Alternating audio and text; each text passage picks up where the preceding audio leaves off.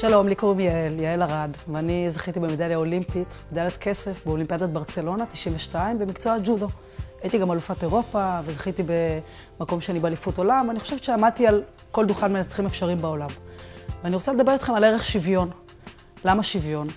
כי אני רוצה לספר לכם על עצמי. אני הייתי ילדה קטנה שגדלה בתל אביב, וההורים שלי אף פעם לא עשו ספורט, אפילו לא אהבו ספורט, ובאתי מבית של שלושה אחים גדולים.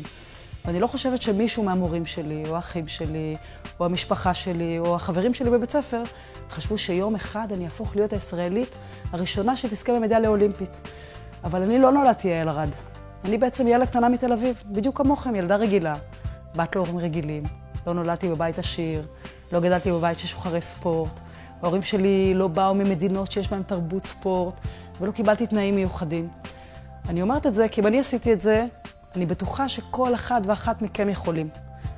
כל אחד ואחת מכם, שיש להם כישרון במה שהם עושים, שהם מוכנים לעבוד קשה, מוכנים uh, לרוץ למחקים ארוכים, להתאמץ, לפעמים להיכשל, להתאכזב, אבל מוכנים לעבוד קשה בשביל המטרה שלהם, ובמיוחד מאמינים בעצמם. ההצלחה לא שמורה לילדים שמישהו נגע בהם בלידה ואמר, את תצליחי או אתה תצליח. ההצלחה נבנית על ידי ילדים כמוכם. ילדים כמוכם, אנשים כמונו, אנשים שמאמינים שהם יכולים, שמגיע להם. כי אתם יודעים שהרבה פעמים אנחנו חושבים שאצל אחרים זה הולך יותר קל. אנחנו מסתכלים על אנשים שמצליחים בטלוויזיה, או על ההורים שלנו שהצליחו, ואנחנו אומרים לעצמנו, אצל אחרים זה הולך יותר קל, רק אצלנו זה הולך קשה. אבל אני יודעת, כי אני עברתי את הדרך הזאת, ואני נכשלתי המון פעמים, והתאכזבתי הרבה מאוד פעמים. אני יודעת שכל אחד ואחת יכולים, זה תלוי בנו.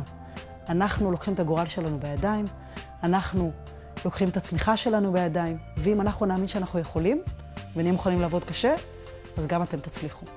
אז אני רוצה לסיום להגיד לכם, שכדי להגשים חלומות צריך אה, להעיז לחלום. ותדעו לכם שלא כל הילדים בעולם מעיזים לחלום בגדול, כי לחלום בגדול זה מחייב. זה מחייב ללכת את הדרך הארוכה, ולפעמים גם נכשלים. אבל אם תעיזו לחלום בגדול, אז תראו שזה אפשרי. אז אל תוותרו על החלומות, ושיהיה בהצלחה.